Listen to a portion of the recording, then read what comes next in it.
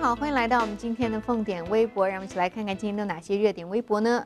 昨天朋友圈一条热传的帖子戳中了网友的痛点：江苏女教师监考去世，中学生平静做题，冷血无知的考试机器何以造就？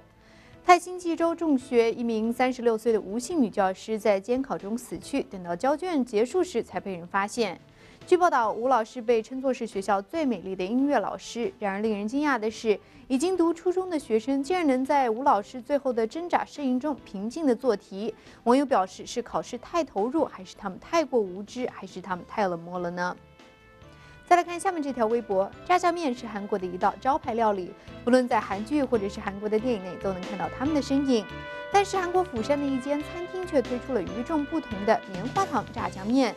香甜柔软的棉花糖，加上浓浓油赤酱的炸酱面，乍听感觉是一道黑暗料理。不过啊，棉花糖炸酱面一推出，就吸引了成千上万的这个食客前往尝鲜，结果还获得了好评。原来一般的韩国炸酱面在制作过程中会加入砂糖，因此呢，韩国的炸酱面吃起来是甜的。所以这道棉花糖炸酱面对韩国人来说，也就是不那么诡异喽。好，感谢您收看我们今天的凤点微博，我们下期再会。